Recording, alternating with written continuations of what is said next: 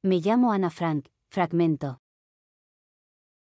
Tipo de texto, narrativo. Era un día caluroso de julio.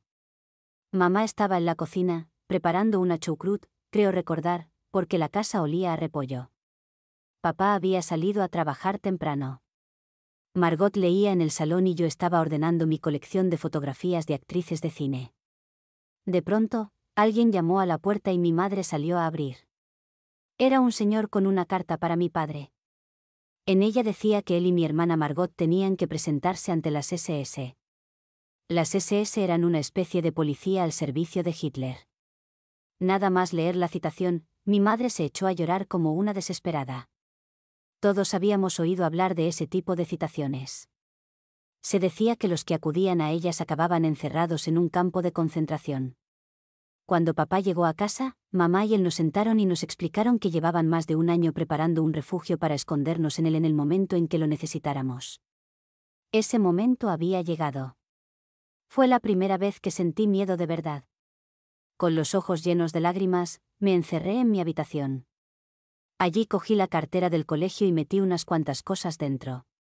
Lo primero, mi diario, claro.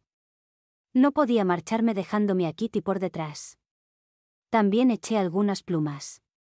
Papá nos había dicho que no podíamos llevar maletas para no levantar sospechas. Estaba tan nerviosa y aturullada que no atinaba a escoger. Decidí llevarme también un cuaderno. Ah, y un cepillo. Mi pelo negro y brillante era el rasgo físico del que me sentía más orgullosa.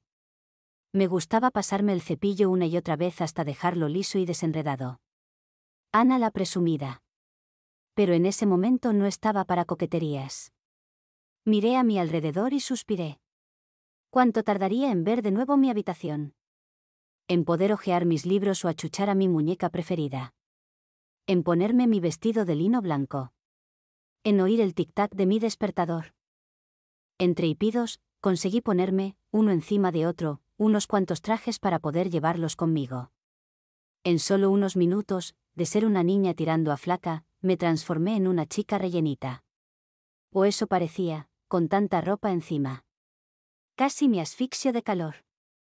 Aunque me empeñé en llevarme conmigo a mi gato Moortje, mis padres se negaron en redondo. Un puñado de judíos, con la estrella amarilla en la ropa, bolsas y carteras en las manos y un gato a cuestas, podía resultar de lo más sospechoso. Así que no tuve más remedio que dejarlo en casa con una nota para el vecino al menos me iba con la tranquilidad de que mi gatito estaría bien cuidado. Para colmo de males, cuando salimos de casa llovía a cántaros. Parecía que la noche había decidido llorar con nosotros. A pesar de todo, en el fondo de mi corazón brillaba una pequeña luz. Esa que hacía que todo para mí se convirtiera en una aventura. Así que respiré hondo, me sequé las lágrimas, miré a mis padres y apreté el paso dispuesta a empezar nuestra nueva vida llena de energía y de esperanza.